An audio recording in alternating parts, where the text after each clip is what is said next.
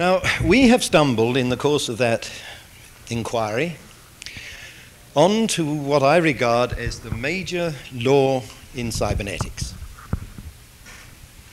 And I'll write the name of the discoverer, and I would very much like you to remember this out of today, if nothing else. Has anybody ever heard of that before? Yes, good. But it's a small minority.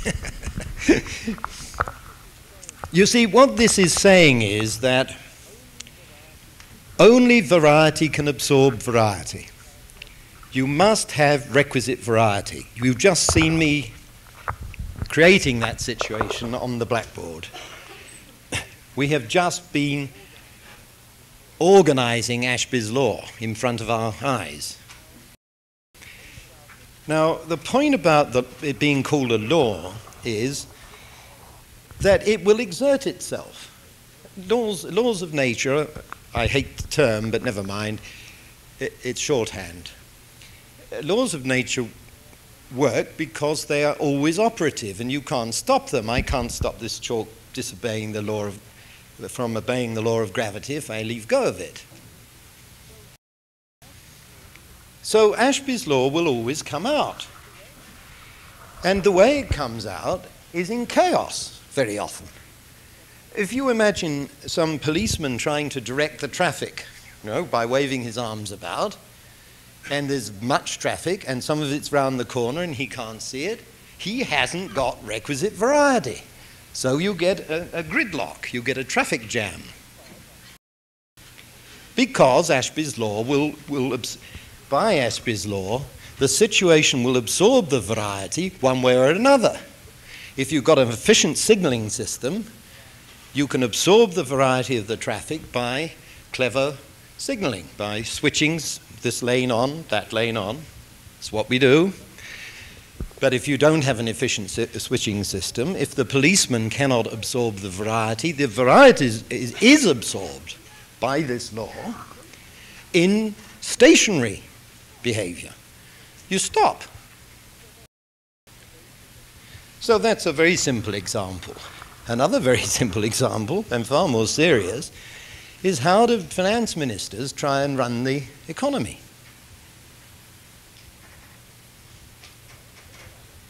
You know, think about it for a minute. They try to control the money supply if they belong to Milton Friedman.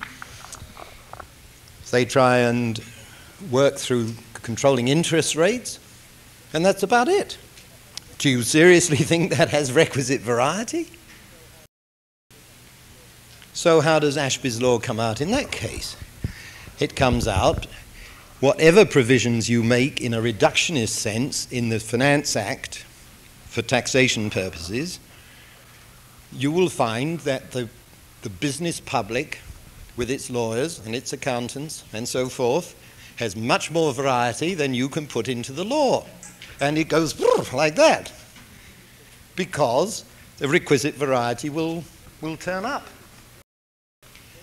So it suggests straight away that, I mean, I have, I've watched this process all my life, the Finance Act amendments and amendments as people try to stop the holes that people are ducking through.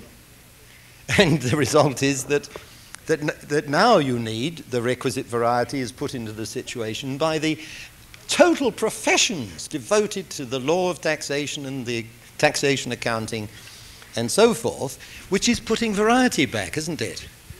Because if, if, you, are, if you have complex affairs as an individual, even, you are going to have to pay someone to file your tax return because the law is so difficult that you can't deal with it because you're doing something else.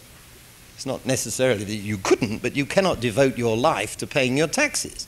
Otherwise, you wouldn't have any taxes to pay. so I, am hoping to excite you about this notion. Uh, if you think of any situation, you, you practice you know, on your own, and say, my God, that doesn't work because of Ashby's law. Or we are trying to make it work with a regulatory system that, that doesn't embody Ashby's law. Then you suddenly start clicking and you say, wow, no wonder we've got this wrong. Now, one of the ways that Ashby's law was dealt with in society was by oppression. You know, if, it, if it's illegal to do something, and by illegal I don't just mean that you can disobey the law and get away with it, I mean you get thrown into jail or shot. If you're in that kind of regime, then that is Ashby's law, working, as I said earlier, with amplifiers on this loop. But if you release that, and that's what's happening in the world, getting away from tyranny, away from dictatorship, and into independence, what you are going to have is a boiling mass of variety being churned up, which we've never experienced before, and we do not know how to regulate it. That's why I began by saying we were in, in a pretty serious uh, state.